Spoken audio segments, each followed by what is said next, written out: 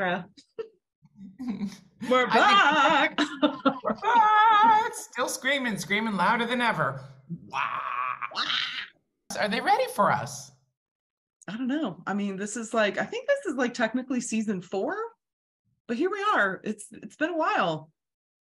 We we oh my gosh, and we have so much more to say. I mean, seriously, so much has gone on uh, since we saw all of you last, but even more exciting uh, people that we're interviewing now, don't you think, Carrie? I mean, I think so, and I think the conversations are really, you know, the pandemic changed us all on so many different levels, and I think those conversations are more open, more honest, more real. I mean, not that they weren't when what when we were going through all of it, but I just think it just changed us.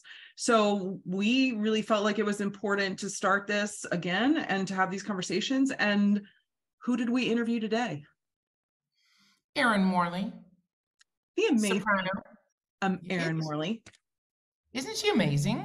Yeah, I really enjoyed talking with her. I, I've never talked with her before. This is a, you know, one of those first ones for me. And I just thought I want to be friends with this woman. I like her. talented singer. She was a young artist at the Metropolitan Opera in the Young Artist program there. And, you know, oftentimes young artists get kind of pigeonholed into that. We didn't even talk about that, but No. uh, I mean, that's part two that we, we need to do with her. But Right. she really has found her own stride, her own voice, literally and figuratively, in the last few seasons. And it's so beautiful to watch how she's blossomed into this complete artist performer, Amazing. culminating with this amazing magic flute that they just did at Yeah. the Metropolitan Opera. Super So- cool. It was super cool reading about that and watching the clips and um, made me wish I was in New York to go see it in person. I, I think, as she says in this um, interview, that it was one of those productions that you really needed to physically be in the theater to to really appreciate the whole um project so yeah i i love talking well there are some really like awesome gems in here especially for young artists um and honestly for all of us i mean just really finding her balance finding her as you said her stride in her career. So um thanks Erin for doing this. And um yeah i can't i know the comments on this one are going to be so awesome so i can't wait to put it out there in the world.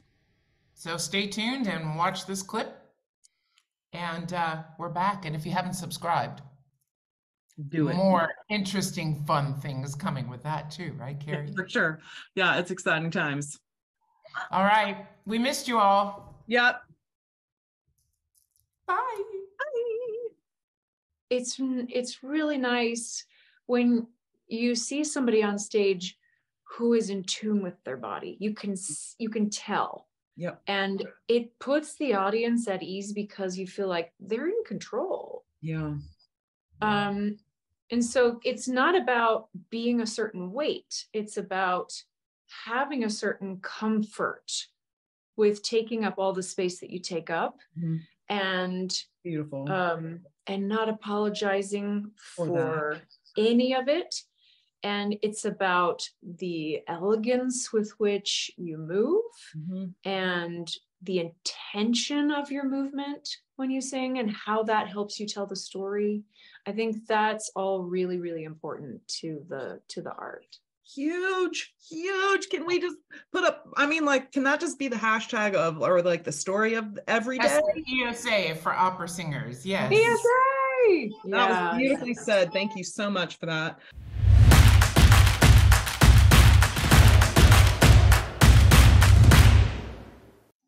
Erin Morley, Erin, Erin Morley. Mm, mm, mm, mm, mm, mm. Ooh. Hey, she's connecting to audio. Oh i got the coffee tongue Yes! Yay! Erin! Success! yes We can, we can Girl do this. power. Oh gosh, you guys, I'm sorry that took forever. Guess what? It's absolutely fine. you're good Okay. We all, I guess we I all forgot how to zoom. I haven't zoomed in a while. you know i had to practice this week because i wanted to make sure that i was going to be okay for this today yeah, we're we're, we're kind of out of practice too, but um, welcome You to the screaming divas welcome. Thank you. Do we scream? Well, um, uh, you know, you know where the name came from. Like we, all the pictures of Carrie and me together, or Carrie separately and me separately, and you, because of what we do, you know, they're always like, right, with our mouths open. They're the Welcome to my uvula. Yeah. right. Yeah. Yeah. Please enjoy and see how many fillings I have. You know. Yeah, yeah, yeah. Yeah, I know, I know. Oh, that's that's the glam part of the job. isn't it? And so our mouths are always open. And then when Carrie and I are together, we're always talking. So And very few photographs, which is kind of hysterical. We forget to take pictures of whatever we were doing. So yeah, maybe. whatevs. Okay, where are you? I'm at home right now. I'm um this is my little practice room that um this is where the magic happens, ladies. All right. I love it. Okay, so those sound panels that you have on the wall, do they actually work? Yeah, actually, so when I when I first moved into this house, I realized this room was way too live. Oh, okay. And before the sound panels, I had like a full-on queen mattress in here to suck up some of the sound because it was just like Oh. it was like singing in a bathroom. Oh, So- okay. I yeah, I got rid of the mattress and bought some less ugly but still ugly sound panels. Listen, Can I, can so- I, Oh, go I like, I like singing in a bathtub. I'm just gonna say that. I kind No, of like. it's not the worst thing all the t- it's it's not it's better than singing into a closet. True. Or couch, you know, Or that couch sock. thing. Oh, Carrie, what were you gonna say? I wanted to ask, so, uh, so you're a mama, you've got three kids, three, right? So three? Yes. So do they know when you're at home and you close that door to practice, like, don't bother mom? Yeah. Oh, nice. Yeah. So does But that it- also turn into your like private space? Like, I need a hot minute, so I'm gonna close this door, don't bother me. yeah yeah this is like the sort of my my office space as well like i Okay. yeah this is the one sacrosanct place in the house where like they can't bother me because even the bathroom isn't private it's just like Yeah. you know that's how it is and so um so this is a place where i can come to yeah really have some privacy. And it's in the basement which help which helps because sort of like they can't really hear me because you know when i'm practicing in their space it's always like shut up mom. Sure. you know? Do you get this? do Yeah. I, Do you get this like, oh oh yes. Oh yeah. I get don't do that okay, Oh, Okay. you have a Grammy, correct? Um, sort of. Not really. I have I have um I have a a Grammy for the ring cycle, Oh, Which- cool.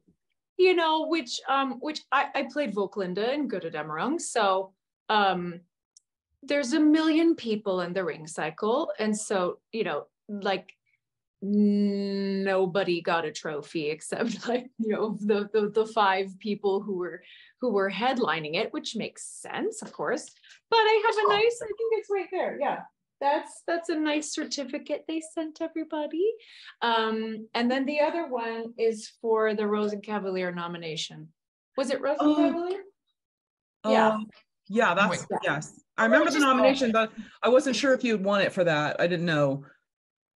Yeah Oh, We. I think we were, so there's a few, I, I need to frame a couple more because there were a couple more nominations for, I think, Dialogues of the Carmelites. Okay. And then Eurydice also got nominated, which was Right. really nice. Yeah, so I think technically I haven't won a Grammy, but I like these nice certificates. They're pretty. I think they're kind of cool. I, I was like, I mean, I loved your video during the pandemic of you playing and singing, which we're going to talk about eventually because that was just super awesome sauce. Um, I, I was like, oh my gosh, like she's a real musician. That's amazing. um, but I, Well, I, um, but with the Grammys, I kind of like, or nominations, um, I kind of wish that they were like all on your piano, like, hey. I this, video. this is I have to put them in the basement so it's not so obnoxious. I don't know. I maybe maybe if I actually win a real one someday, I'll put it I'll put it upstairs. right, right on your piano while you're video playing for whoever. Okay, we've got to talk about the recent production you just did at the Met. Yes, the Magic Flute. I I- mean, which you just finished, right? Yeah, Saturday was our last show. I have Flying numerous questions about that. yeah um it, it was it was the coolest production you guys. I loved this production. It was so much fun. It was so much work. Um it was a lot it was intense. The rehearsal process was very intense but very rewarding. It was it was a it, it's it's i mean the production's been around for 10 years so it's not Oh, really okay. new. It's not Okay. it's not brand new especially to europeans. They know it pretty well because it's been around. Um, but it felt brand new to us. And uh, Simon McBurney was our director. To his credit, he didn't really just regurgitate what he had done in the past. We really Oh, dug into the characters together, and and Cool. you know we could change what we wanted. We had so many different versions of the dialogue. We really talked about what we needed to keep in to make, especially Pamina's character, make sense. Um, In German And- or English dialogue? Sorry to ask. in German, in German. Um, and actually, that decision also went back and forth. Should we do it in English? Should we do it in German? We we eventually settled on German, which I'm very happy about because um, I don't love to switch languages mid-show. I think that's hard. Mhm. And I also I also think there's it's a well enough known piece that um and and there's not too much dialogue so that it's like what? What's happening? i think i think people know what's going on already but but um they've also heard it a lot and so it's not um so inaccessible in german. Um so So- I, I and i i love the flavor of the language you know it's just it's a beautiful language. I love speaking in it and it, just it's fun to to kind of yeah. You fluent in it? no no definitely not. Um but i can get by. I can get by pretty well. Um i tried to do an interview in german once and i ended up switching to english I love that. You're like, um, this is not working. Bye. Okay. that, that has happened to me in all three languages um that i i i, I tried i tried Yeah. um I, I think it's important to try actually um because you can't get better until you like you know really Yeah. just sort of jump in and and try but uh yeah So I I've didn't been told that- Go. I didn't see the show, but I saw the clips, you know, on social media and stuff like that. And when I saw you in the harness, because they fly you, you and, and Larry Brownlee, um, did you have to sing like that or was it just like swimming in the water kind of a thing? not so much singing. It was it was maybe uh, one phrase of singing in that harness but but uh mostly on the ground singing. Um so it was really it was really um just about um making the trials really beautiful and interesting and you know the the trials of fire and water can be the least interesting part of the show Right. but they are like in a lot of ways the most important part of the show Right. and the flute solo and it's called the magic flute you know it's a really it's a beautiful moment and sometimes it's like that's it wah wah so so i really love what he did with this with this um scene. Um the the fire is really i mean it's so hard to describe. One of the things i love about this production is that it has to be experienced. It can't be it's not like you can get a sense of what it was in the clips that they shared. It's not even like you can get a sense of what it was like if you watched the hd broadcast it was meant it was meant for the theater. It was it's a theatrical experience. And i kind of love that because a lot of things are conceived for film now Mhm. and the people in the theater are not getting as much of an experience as the people in the movie theater right? And this was Yeah, this was really conceived as a theatrical experience. And so um, it's as I've been trying to describe it to like family and friends, I'm like, I, I can't, I don't know. That you have to just see it because there's a lot going on. And when you're in the theater, you get to choose what you look at. When you're in the movie theater, Right. they tell you what to look at, Right. right? Right. So it's a totally different experience. Um, the flying bit was like, you know, the water trial. All of a sudden we're like engulfed in in water and and swimming through it and we're able to breathe magically and you know and it's it's Mm. beautiful um and there's these amazing sound effects coming from the foley artist who was Cool. on the side of stage Right. um she was like doing sound effects, right? Weren't they? yeah sound effects like old fashioned and high tech sound effects sort of mixed together um so there was all of these sort of like bubbles that she was blowing when we were swimming. Um really nice Done little live. um, Done live, like not not pre-recorded. done live done live. Yeah and she was visible to the audience. You could see all of this.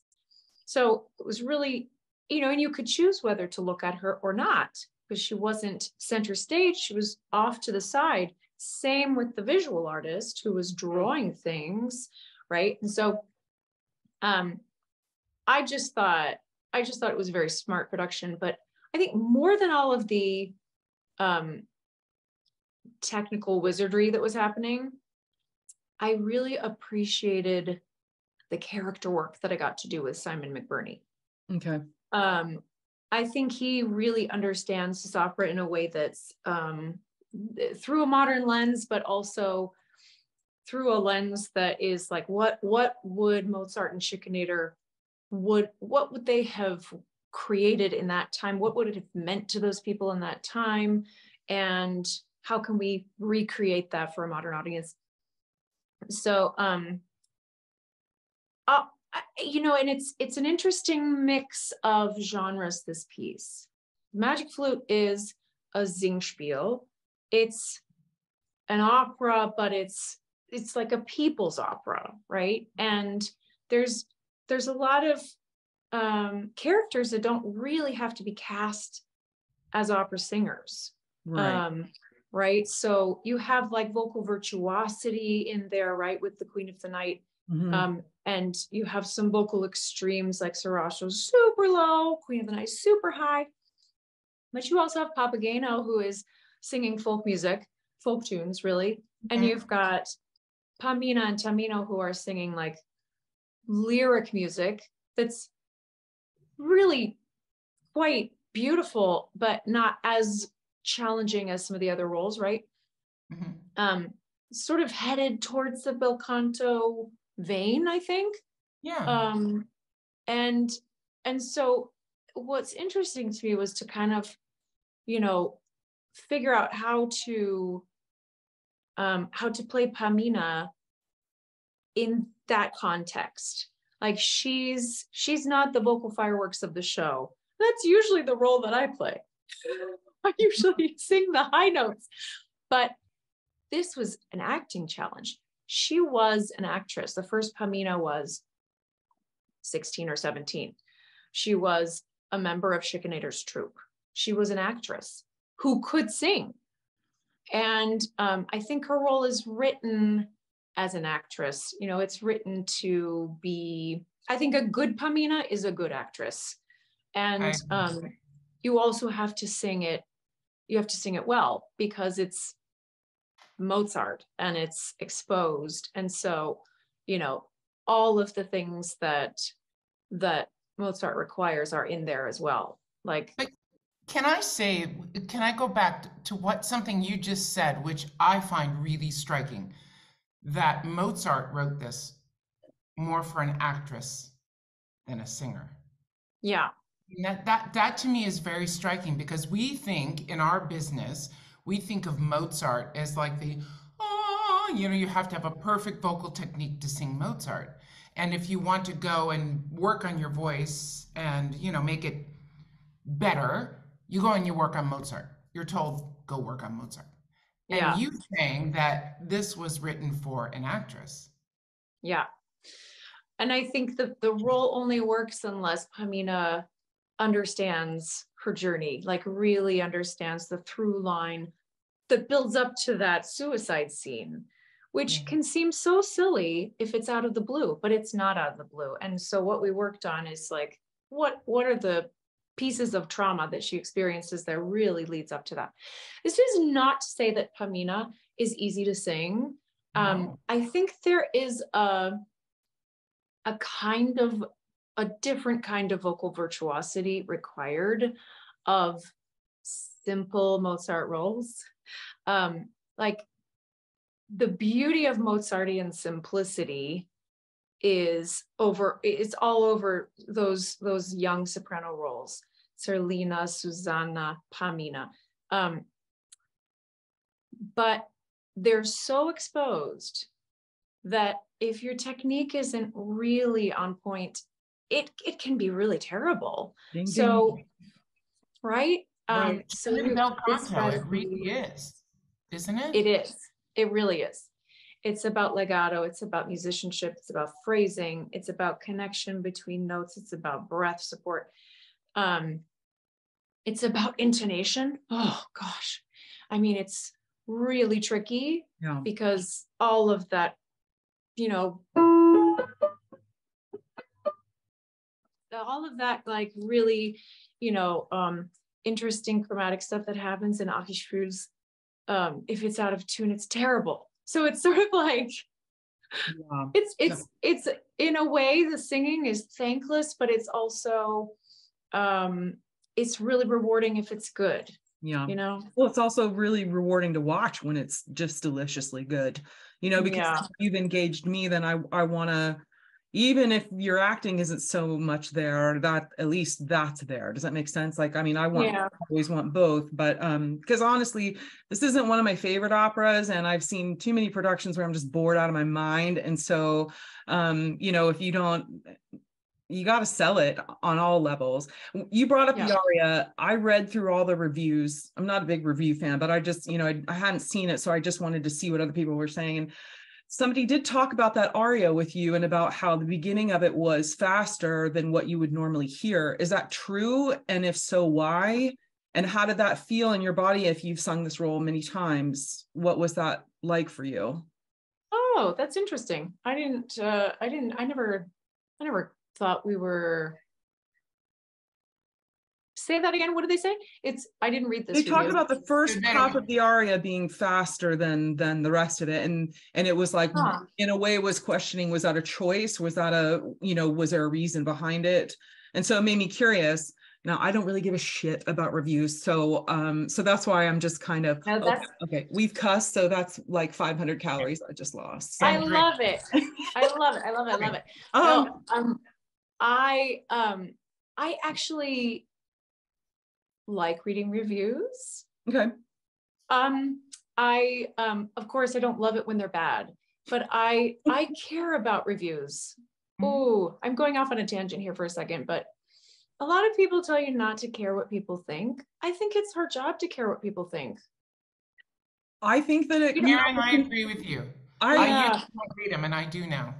Not I not in the I last think- 10 years not to me i mean not the sources the sources i mean if you you understand the reviewers that understand this music you understand Yeah. and now there are some bloggers especially young people that really love this and i want to know what they have to think because they're going to be buying the tickets for the next 40 Yeah. years so i care about that but there are too many reviewers out there that really un- don't understand and when somebody mm. mixes up a character with a singer, or all I read about is the production, I'm like, this is bullshit. So I'm sorry. Like, I I absolutely agree with you. I think that you know it's not my job to believe or respect what's been written, true. but I do care what is out there in the ether, what is being said, and I do care how that influences what other people write and what other people think. And then I think it's important for for instance, I think it's important for um, when a reviewer doesn't understand why something didn't go well, Mhm. I think it's important for us to start talking about that stuff Okay. right? So that's why I read them, you know, because I, you know, I have a, a certain experience as the performer on stage that they're not having. They don't have all the information. And some of them are smart, some of them are not smart. Um, and and so I feel like sometimes it's my job to kind of talk about why things didn't go well. Let's talk about set design, for instance Yeah. let's talk about the conversation surrounding um oh we can't hear the singers something must be wrong with their technique Yeah. No, I know. How many times have we had this happen? how many times Look at say the that? set. Look at the look set. at the set look at Oh, the well, set And I'm sorry, but that also is in control of the conductor. So I, you know, when a, co- I'm going to be very honest, when a conductor says to me, I can't hear you, that's not my problem. I'm sorry. I mean, unless it has something to do with like the, um, the staging, if there's something wrong or like what you're saying with the set. But, but part of me is like, if you can't hear me in the pit, then that's really, I mean, there are other factors in, involved. And I, Yeah. maybe you just need Yeah. to the orchestra down because sorry, I mean, most conductors right now are letting that blare so loud that there's no, nobody's following the dynamics that are written in the score. So right I'm a little There jaded are with that. oh i feel you and there are so many factors to this equation there are Yeah. so many things that can affect this. And um, when a reviewer blames it on something that has nothing to do with what's actually happening then we got to start talking about that stuff. And we got it because it's not just it's not just the responsibility. If the set has no acoustic sense the set is wide open and has no back. If the set is made of carpet if you know like how about some sound reflective materials? How about a rake how about some wood you know there are sets that are that are really smart and there are sets that are absolutely sabotaging the singers Totally. But and that's the beauty of social media now. yes you can talk about it it's the beauty Yeah. of the screaming divas interview we can talk about this stuff Yeah. We can talk about whatever we want. And that's the Yeah. beauty. And you are so brilliant at social media. Oh, well thank you We have to talk about that. Do you do it yourself or do you have people helping you or is it a combo of both? Are we allowed to ask that? You don't have to answer. Sure, sure. You, you can ask me anything. I I do it all myself. Um, I Impressive. I I think I just have a hard time outsourcing my my identity. I feel like social media is is a really hard thing to outsource for me. Um, because I think what makes it special is um is seeing the artist's point of view rather than the artist's publicist's point of view. Um, and and having, I think people like having a little um, a little bit of of of a connection to the person. It's not totally raw and honest and and you know it's not it's it's n- nothing on social media is going to be completely um Authentic. the whole authentic. It's never the whole picture but i don't pretend that it's the whole picture and i don't think anybody should. Um so that's kind of how i approach it. I mean i i i try not to drive myself too crazy with it but i do enjoy it because i like having a connection with the people who are enjoying this art form. And i and i i have i've tried to outsource it a few times because it is a lot of work. Mhm. um but it it never works for me. I don't know. Maybe some other people have cracked the code but i um i think i think it's something i um i enjoy too much to outsource. And i also um really want to make sure that i'm presenting the identity that that i want to present to people especially i've shared a lot about my pregnancies Yeah. um, and I think that that's, um, and that's because it's something that doesn't get talked about a lot, Yeah. um, or maybe not in the way that I like. And so I'm trying to put out a lot of, um, helpful, hopefully helpful information about what the experience is like. Did your voice change? Not fundamentally like not like a lot of people experience like oh my voice got richer after my pregnancies. That did not happen for me.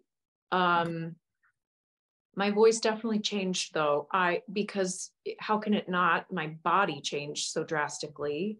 Yeah. um and so for me it was really after my first child um she was a c-section and that's a huge huge body change lots of recovery time and um you know dramatic weight gain dramatic weight loss um and all of those things affect your voice and so after after maria was born it was like okay i'm going to have to learn how to sing all over again that's what i'm going to have to do and Yep. so it was like starting from ground zero Okay. and um and so in that way yes my voice has changed. Now it's it's not automatic. Now i really have to be a conscious singer and i have to take really good care of my voice because you know it's it's uh the the connection to your body gets literally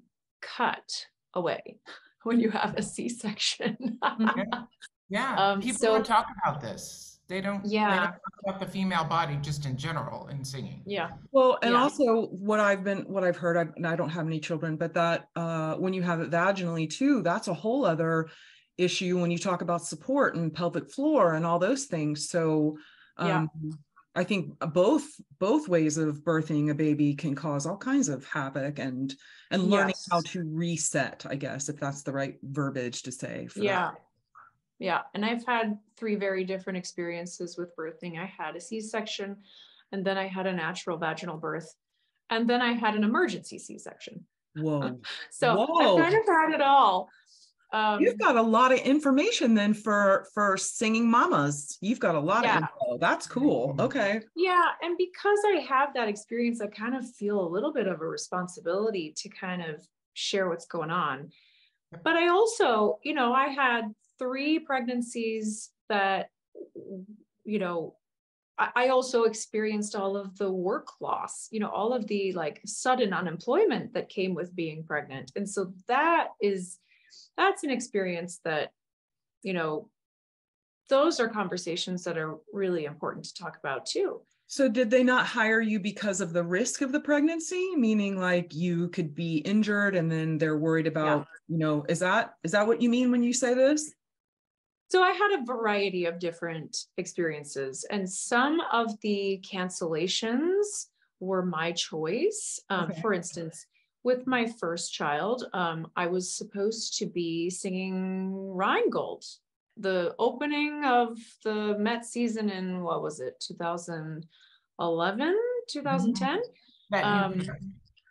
The new production um, with Lepage, right? So With the machine. she's she's flying oh my you know, goodness. Okay. And that's the whole concept of that production. And so that was a very easy mutual decision. Like this is this is not going to be hmm right.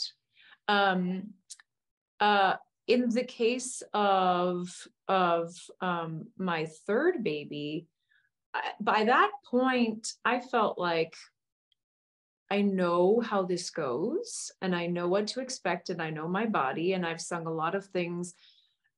Uh, you know, I've su- I've sung some roles a few times now, hmm um, the summer of um, of that pregnancy, I was uh, let go from two jobs, uh, which were both roles that I knew super well, and I knew I could sing them pregnant, and they were um, not dangerous stagings. And I, you know, I really um, I was very upset about those cancellations. Um, Did you do anything about it, or did you just say? I was I was paid, um, Okay. and to the extent that we've seen some progress in the industry, it's that. You know, we now are getting paid when we're let go. It used to be, I mean, that's that that's my third pregnancy, was Mhm. never paid before that for a pregnancy cancellation. Um, so I appreciated being paid. Um, but the, there's so much more that's not measurable that you lose. Right. And um, those damages, uh, they cannot, they can't really be replaced. No. Um, and so, um, you know, I just was very um, specific about how I wanted the press releases to be worded. I was not withdrawing. These were dismissals.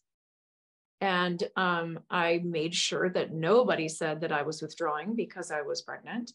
I knew I could have sung those roles pregnant. Okay. And um, and I knew that they the staging was very clear to me. I knew that it would have been safe. So that was disappointing. And we have we have a long way to go. We need to do better. Did they, did they do what you asked in the press? Did they write? Eventually, eventually, yes. Yeah, but it, it, yeah, I had to fight. I had to fight. Do you have to let them know that you're pregnant or is that, I don't know by law if you have to even tell them. I mean, if I'm talking about the states, I don't know where this was, doesn't matter, but um, I mean, I didn't think that you had to say anything like that. No, you don't. I th- and I actually advise singers now who come to me and ask for advice. I Mhm. advise them to not say a word. It's none it's none of anybody's damn business. Right? It's it's not. It's your body and you decide what to do with it.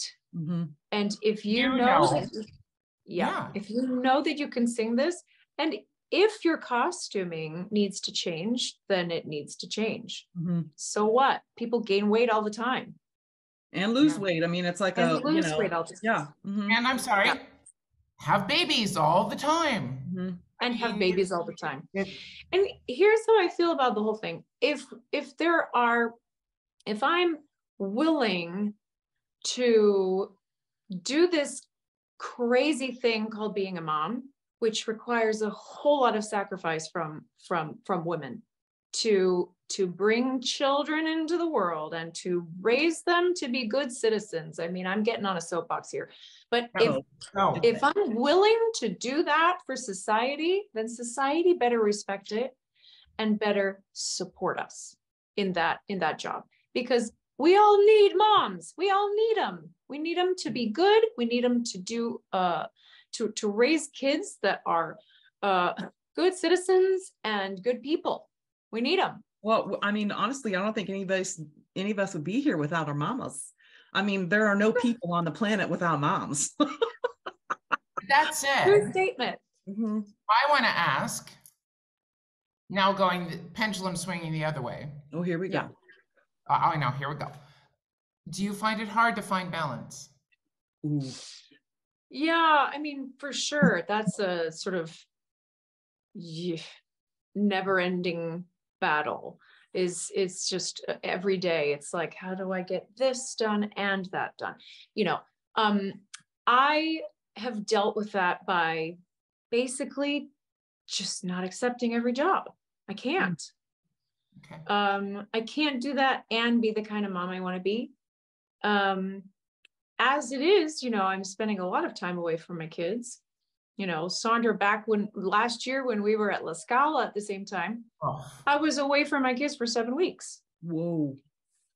Yeah, I mean, it was it was a long time. They came to visit for 10 days, broke it up, but you know, that's still a long time for a kid in middle school to be without her mom. Aw. So, um, yeah, I have to be really judicious about the things that I accept. And I'm grateful that I'm in a position in my career now where I can be a little choosy. Mhm. But it's Yeah. it's hard, it's hard when you when you are building your career and you can't be that choosy. And, you know, we uh basically I I mean, the reason this has worked is because my husband is a rock star. Um, Love. he, I mean, he's just everything. He's everything. John is amazing. He's um, he's got his own very demanding career, and he's very, very. He's a he's an incredible scholar. He's a law professor, um, and he also manages to be a super dad, and he's just so supportive of what I do Um, and So so he has really enabled me to to to be everything that I can be. Um, and so that that's key. You have to choose a, partner wisely.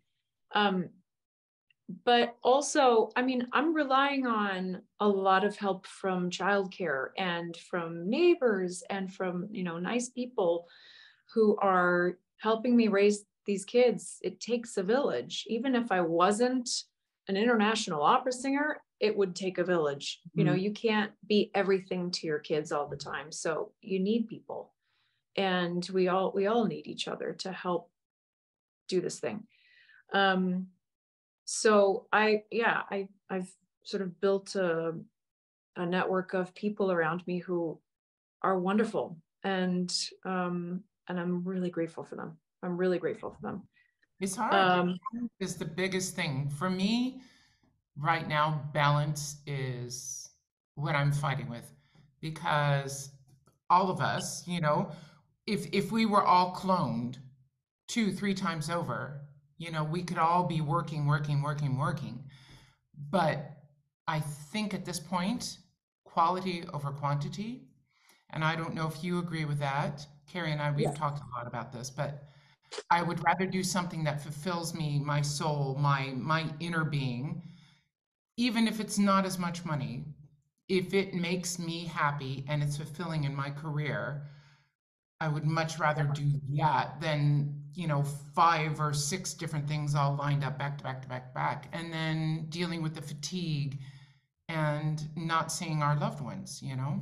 yeah. But uh, everybody's different and that's the beauty of this this business too is that we can kind of set that for ourselves right Yeah, I think everybody um will find their their their own equilibrium, but it it's the fact is that we can't do the job well unless we are you know uh filling our lamp with oil when we're outside, right? We can't actually give as much as is required and it's so much is required. So much is required for this job. You give so much to a rehearsal process. You give so much to a perform to each performance. Mhm.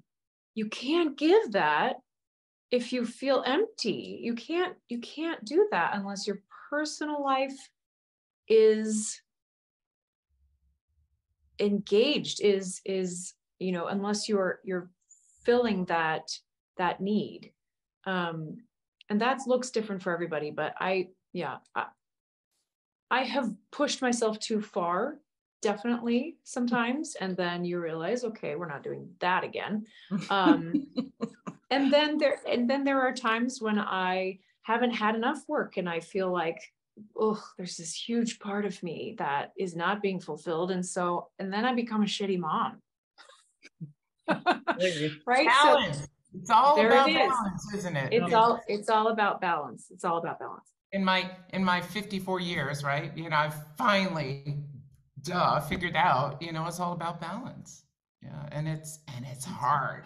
I know. And we all sing better when we're happy. I know my manager says to me Sondra when you're happy you sing better. So please be happy all the time. Yeah, you're like Sure, easier okay. said than done. Mm-hmm. i'm gonna Oh, put that down on my to-do list. Be happy. I bet.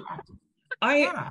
I think um I don't know if this is for men too. I can't I don't want to speak for them, but I feel like as women and there's part of this caregiving nurturing thing whether you have kids or a relationship or whatever it's always about taking care of everything else outside of you and I learned, uh, you know, in this break that we've had of Screaming Divas, because we we needed we hit a wall in our own personal lives, and so we um, needed to just you know take a second. And in that second, I learned through going to therapy that um, me taking time for myself. And it started as 30 minutes wasn't a selfish act. It wasn't me not taking care of everybody else and everything else but it was 30 minutes that I took for me to do whatever I wanted to do. And there was no guilt associated with that. There was no emotion associated with that other than like what you said, fill your lamp, I think is what you said.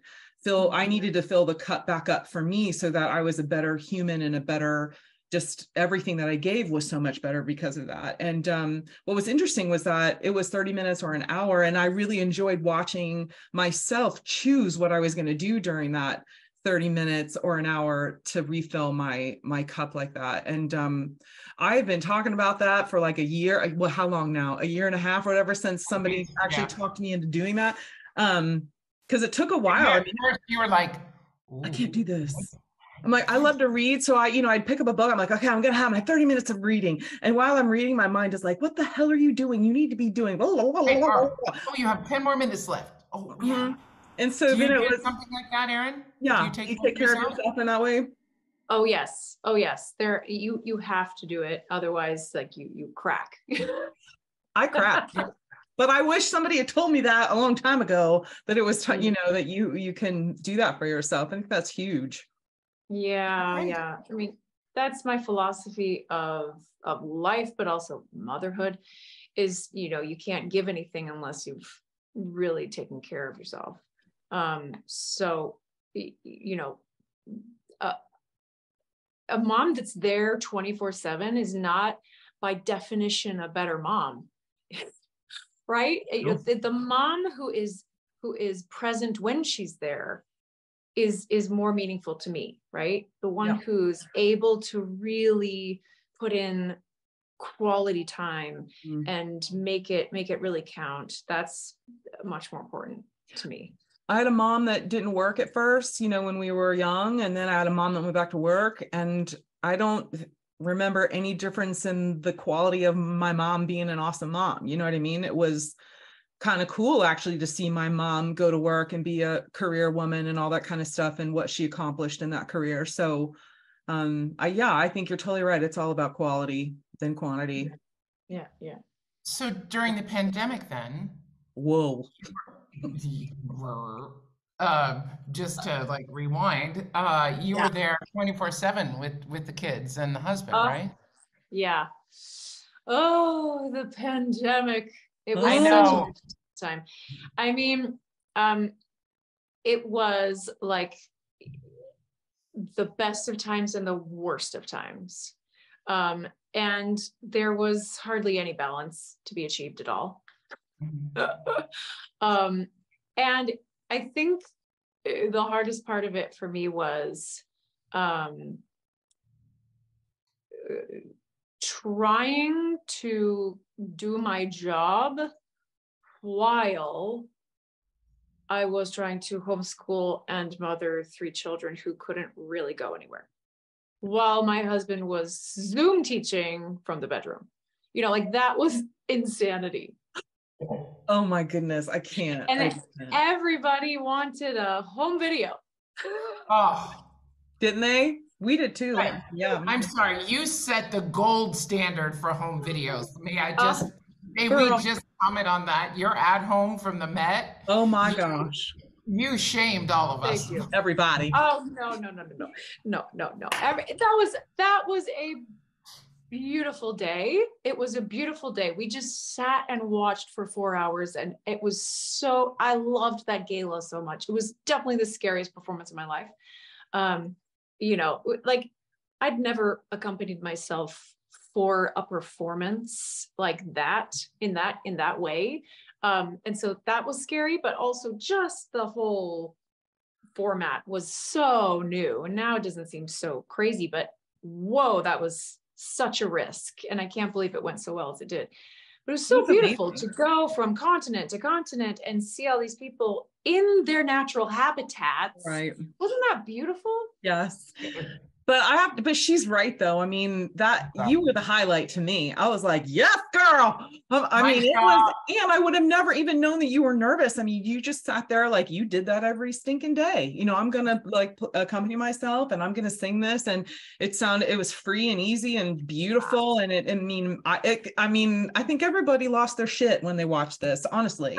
I mean, if there was like live comments, everybody would have been like, oh my gosh. I mean, it was amazing. Yeah. thank you thank you thank you i mean to to to a certain extent i do do that every day you know like that that's what my practice has been like for years and years and years and so it wasn't it wasn't that weird to to to to show it to people um because that's how i practice you know that's how Okay. that's how it goes for me and actually one of my challenges has been to to to get myself away from the piano Mm. because sometimes i spend too much time trying to do both at the same time and i have to really isolate my voice and yeah but but um but that's that's kind of that was like a, a window into what what my practice looks like and what it you know i try to learn all my accompaniments i think it's Cool. really helpful Sure. um but it you know it was just fun that day it was just fun nice. um You can see it. So, You can, i'm you- glad people liked it yeah. I'm We all they did. enjoyed it. It meant a lot to me. I think it meant a lot to a lot of people, but you know, I think it was, yeah, it was an important thing for everybody that day. hmm So did you work, I- you work with Gerald Martin Moore, right? Vocally? I do, yeah. Who Did is another, who is another singing pianist, actually? Like, you know, it's actually kind of fun to work with somebody who can, who can give me pointers on both instruments. um, uh yeah i i started working with him after julia was born so about six years ago. Um yeah he's wonderful. He's really wonderful. And um you know we we work quickly because i think and i appreciate that because i don't have time i Yeah, don't got time. Yep. um so he he he um he's very efficient but he he also he also he can diagnose a problem really fast. And um that's that's really valuable to me. Um I think there's a Instagram video I watched. Was it Instagram? A video I watched you that made me laugh. I was like, wasn't that the realness right there? Where you were trying something and it was over and over, and you're like, that sucked. That wasn't pretty. Or whatever you said. That's not pretty. choices and stuff. Uh-huh. yeah. That made me laugh. I was like, that's so true because that, you know, I'm in, I, I remember, I mean, I'm out, I'm out at my lake house and uh, one day I had all the doors and everything open and I was like, I got to practice. And I just kept hitting note after note. And I know that I live in a basin. So everybody is hearing this whole thing go down. So I think that's why I kind of laughed at your video because I thought it's really the truth, you know? And for me, Yeah. I'm hitting all these horrible notes and I look down at my sleeping dog and he could care, you know, not high seas. He wasn't, I thought he'd wake up and start moving, but he was like, ah, this Oh, is no. He snored louder. yeah but i love that video i mean what made you think to like put the video camera there and be like i'm gonna record this? So here's how it goes. I i drive to new haven to go see gerald and then i record basically everything. I i, I have Oh, okay. way i have way too much. I have way too much recording of myself but it's how i learn. It's really a valuable skill right. a, a valuable tool for Mhm. learning. So i i record everything and then on the drive home i listen to the recording. Cool. Um, and as I was listening to this one, I just kept laughing. and I just was like, this is actually kind of funny. So um, I thought it would be entertaining, honestly. But I I also just thought it's you know, it's useful to see it's useful maybe for for young singers to see that um this isn't something we roll out of bed and just do well. It's it's not automatic. It's we we are we're working all the time. It's hard all the time. All the it doesn't just come out. Um and so you know like I, I it's not their fault but sometimes you meet somebody they find out you're an opera singer and and then you say well i i i you know i'm gonna go work now. And they say what what do you what do you mean? What are you gonna do can't mm. you just like warm up in the shower or something? Like don't you just and they don't get they don't get it. Mm-mm. This this this skill takes so many years to develop and and so many hours in front of the piano every day. And people don't know they don't know they don't know that. And so i thought for a change you know i i we're used to to presenting the finished product and that's great. I love finished product. I want to mm. hear your finished product Mhm. but i also i also think for a change you know like it's it's important for people to know how much work goes into this it's Good for you. tedious work it's painstaking Yeah. like listening and changing and tweaking and people need to know it's hard It's also raw. people need to know that it, it for us to expose that and to to pull back those curtains and say, look at here is us actually not being perfect is very difficult. Vulnerable. I know Yeah. Keri hates people listening to her warming up. Ugh. And Mainly Yeah. because I really hate, I hate listening to, that's my version of hell is people, especially tenors right next mm. door to me warming up. I really like, mm, seriously. Meh. Or I just want to be you know, like, the technician in me wants to go like knock knock Ding, knock, ding, knock, ding, knock. ding. Do you really think that that's gonna help you? Boo boo. No. Mm-mm. No. Honey Boo, let me tell you, you're just banging those cords together. That's not helping. That's not called warming up. That's called just slamming the cords together. Well, But Do and you then, remember a time a year ago when we were at La Scala, Sondra, and Mhm. um, I was just screaming away, trying to learn whatever role. I think it was probably Norina or Lakmé or something. And I was, I sounded terrible. And it was just like over and over trying to like figure out how to. And then I walked out of my dressing room and realized that the whole cast of Un ballo in maschera was sitting right next door getting their makeup done. I think so. But you sounded fabulous. Now it's locked no, I in. did not. You lie. No, I'm not lying. I, I would tell. Listen, I am too old to lie anymore. I've officially decided that I don't lie.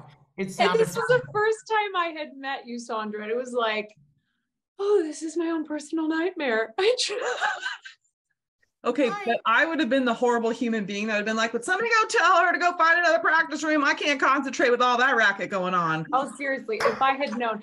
And I think I said something awkward like, oh my gosh, there's no privacy in this building.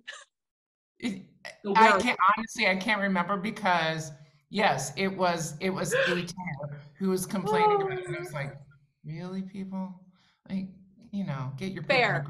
Totally fair. Fair. But you know, my biggest pet peeve is people coming up to me and saying, "Oh, you're an opera singer. Sing something for us." Oh, oh yeah. Oh no! Or oh, are you in the Phantom of the Opera? yeah, that opera, Grand Ole Opry. I mean, oh, people. You know, Um, listen. Yeah, go. No, go ahead. Not just you don't ask a doctor. You don't ask a gynecologist at a at a cocktail party. Hey, you know what? I have a little something going on. Can you just look at that? Like, don't ask an opera singer. Will you just sing something Sing for us? something. on our Um, yeah. you I know, think what what bothers me about that is just that there's no awareness that it, it takes a lot of hours to get ready for a performance, right? I think that's what bothers me about that. Like, I don't just have an operatic voice when I wake up in the morning. Maybe some people do. I do not. It takes a long time for me to get ready to sing Yep. carefully and safely. Yep. So, yeah. Um, there was one thing I wanted to say about what you were talking about voice and all that. I I think that people also forget, and sometimes singers forget this too, that it's actually it's not just this, it's actually the whole entire thing. So if my body's out of whack, or I mean, that can cause all kinds of havoc up here and can cause different stresses up here if my body isn't well well taken care of. And actually, as I've gotten older, that's even more important than it was in my 20s, because you know, in your 20s, you can pretty much do anything, but um physically. So it's a Mhm. huge, as I get older, it's that's a huge thing of taking care Yeah. of me from head to toe. Absolutely. I, I mean, I've seen a lot of people start talking more and more about what they do for their body to prepare for a performance or, um, you know, to enable them to do lots of things on stage. Um, but I think, you know, for me, I, it- I, yeah, the body's the instrument and it is so connected. And I've found a lot of value in things like exercise for sure, but also, um, you know, Alexander technique and um, acupuncture and massage therapy, like all of those things, especially during the run of Zauberflöte just now, because it was a physical show Right. and you know i was i was doing a lot of body work in between shows Mhm. To to keep myself flexible and strong because that's that's exactly what we do with our voices when we warm up, right? It's about flexibility and strength, both. Um, and so, so, so we have to, we have to do that for our bodies too. Um, and it's, you know, you can, you could also say it's, it's, it's, it's really nice when you see somebody on stage who is in tune with their body. You can, you can tell Yep. and it puts the audience at ease because you feel like they're in control Yeah. um and so it's not about being a certain weight it's about having a certain comfort with taking up all the space that you take up Mhm.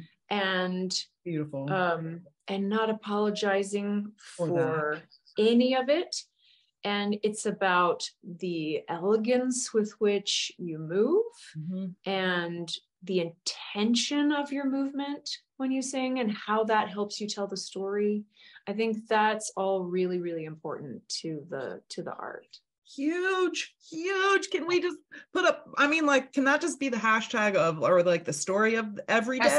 Yes, ESA for opera singers. Yes. ESA! That was beautifully said. Thank you so much for that. Okay, what would as an opera singer, what would you tell yourself like at 20 starting out in this business? Would you say anything to her?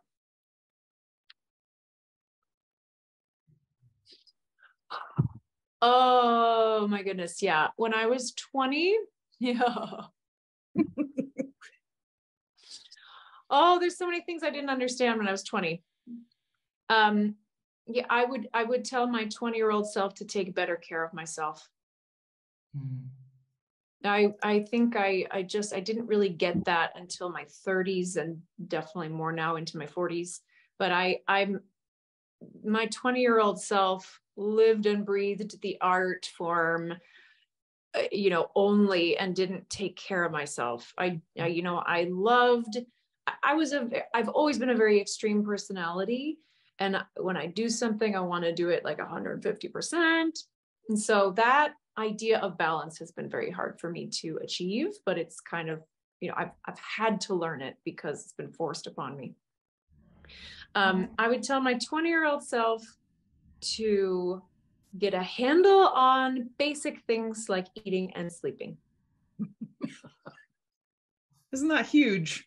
Huge. nutrition and recovery time and rest and Mm-hmm. like I, I just i did not know how to take care of myself i was just um, i was a disaster and um, i you know it for me it took becoming a mom to realize that i had to take care of myself in order to take care of other human beings Yeah. Mhm. so um it- it's sad that it took that long for me to figure that out i would like i would like young singers to understand that you cannot give anything until you have taken care of yourself first yeah. And if that includes something, I don't know, like skydiving. Bring that up. I'm so glad you brought that up. I mean, what? You guys it's the best you have to do it it's so cool Okay, why? And did you scream bloody murder when you jumped? Oh yeah, for sure. I mean, I think I was sort of like laughing um uncontrollably slash crying slash screaming. It was sort of like, oh yeah. Were you attached to somebody? I was attached to somebody. Yes. Yes, you- definitely. Were you like, Jesus, I'm not ready to meet you, so please make sure I- my feet land on the ground? Yeah. I mean, okay, this I went skydiving during the pandemic. Okay. I think that that's important to point out because I hadn't sung in almost a full year in front of people. And at that point, I think there was a screw loose, but also, but also, um, I missed adrenaline just on a very basic level. I missed the sort of sequence of events of being nervous for something and then doing something scary and then the aftermath of it, which is performing. Right. And that's, I mean, you have to actually kind of like adrenaline in order to be a performer. So I I kind of like came away from the whole experience like feeling feeling like I learned a lot about myself like oh this is a big part of who I am. mm-hmm. I I like adrenaline and I rise to an occasion and I like pressure. Is that you say- sick? No, No, no, Because because we're all all, you know, we were all trying to figure out how to channel all of our, I call it insanity, all of our insanity and all our creativity. And how are we channeling this if you have nowhere to go? I mean, listen, I'm so happy my husband still wanted to be married to me after the pandemic. I mean, I I lost my business. I mean, I was like, oh my gosh, what am I going to do with myself? Let's mm-hmm. create screaming divas. Let's learn how to do all this computer stuff. I mean, we all freaked out in our own ways, but you Yeah. skydiving, that's like the epitome of what we all needed to do. Maybe we all should have just gotten together with our COVID masks on and just jumped out of a damn plane. Wow. So, did was your Right, husband know, right with the mask on. with the mask on? Skydiving with a mask on. Exactly. Was your, Hindsight. was your husband like horrified, or did he do it with you, or? Oh horrified horrified. Um he he hates this kind of thing. He was he was on the ground. He he went with me to be supportive. I told him this is what i wanted for my 40th birthday and uh, that's what we did. And and he i think he was utterly horrified. Just just absolutely terrified. Um yeah. I actually was i was talking to Ann Ziff Yeah. um uh, a, a little while back our wonderful Ann Ziff Chairman um, of the board of the Metropolitan Opera. We have to. put that in. chairman of the board, chairman of the board. Um, she, she, I mentioned that I liked to skydive and that I did it during the pandemic, and she was like, "Oh, I've been skydiving." She went with Dmitry Hvorostovsky. So the next totally thing- did. The next thing you have to do is the cold water plunge, Sharon. Oh, I'll Oh, do that's fun. Is that a thing? Is that a thing? What do you do? Um, so I did that with Dmitry and Ann Ziff as well. Oh Uh, my 'cause- gosh, how cool is that? What do you just was dump yourself in outs- ice? Well, no, it's snowing outside, and Okay. Ann Ziff's property had this stream that kind of ran through it, and it was snowing. It was winter, and so Dimitri's like, "Let's let's jump into the cold water." And you know, here we are, like two Metropolitan Opera singers, and so of course Ann's assistant was there with the paddles, just in case one of us had like a heart attack.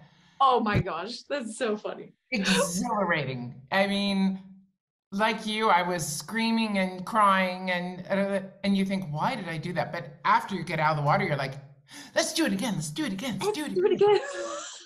How many times have you been skydiving now? Was it just the once, or have you gone again? It was just the once, Okay. but I'm doing it again. Don't worry, I'll do it again. Hot air balloon. I think we need to. I ser- I mean, I seriously, I think the whole way down, I'd be like, Jesus, no, I'm not ready. Oh, Siri just said what? I don't know what that means. No, the Oh whole way down, the whole way down, you'll be like, this is the best thing ever. It's the way up that's hard. It's the right before it that you go, Oh. am I really about to free fall out of an airplane? What's wrong with me? Yeah, God. yeah. Cool. No, it's Well, good. I- it's impressive. I think it's super impressive. Okay, Rapid, are we rapid, rapid fire? fire? Are you up for rapid- rapid fire? Rapid fire, go. Okay, we're we're trying new ones now. New season, so we're doing new stuff. So two words, one or the other. Ready? Work or play? Play. Love or friendship? That's a hard one. Love. Love. Money or happiness? Sorry, say it again. Money or happiness? Happiness. Yes. Cats or dogs? Dogs. Okay, we Summer are friends. Sorry, Yeah, yeah, yeah. We can all be friends. we can all be friends. Dogs, always dogs. Okay, go ahead. We have Summer or winter? Summer. Summer or winter? Summer. Morning or uh, evening? Morning. Ooh. Would you rather fly or have super strength? Fly. Okay, do you watch shows one episode at a time or binge a whole season?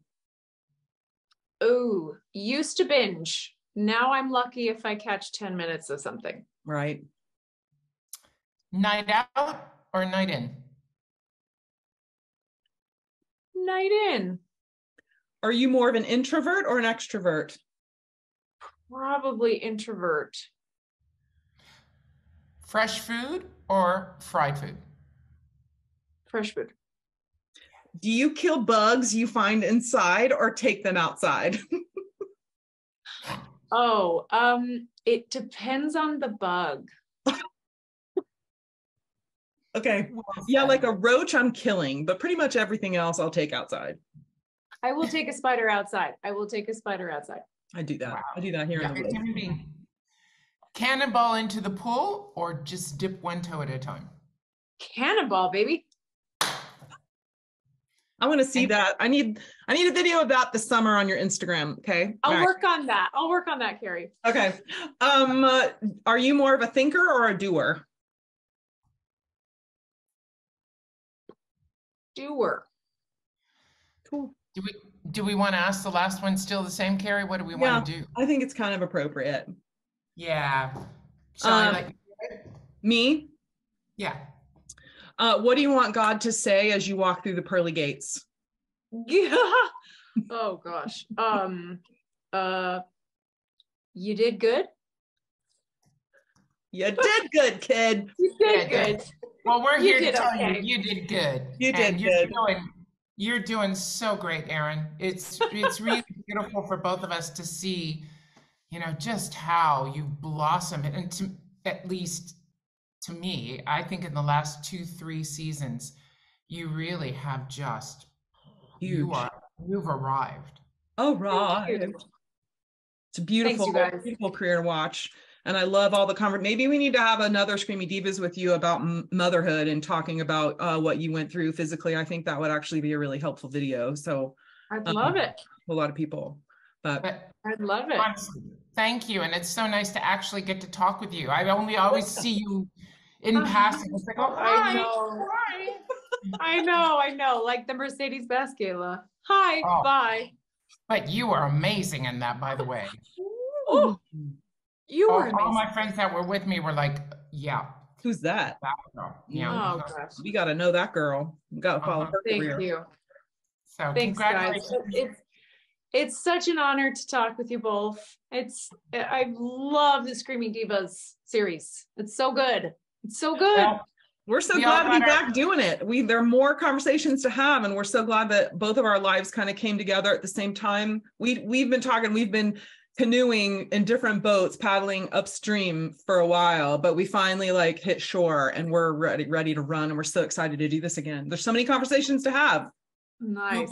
Nice. group has been put into a group, and we are much better. Thanks, Erin. Thanks, Erin. Thanks, you guys. Good to see you. Good to see Bye. you too. Bye. Okay, how do I end this? It's been a while, people dying. Okay. Reading, leave reading.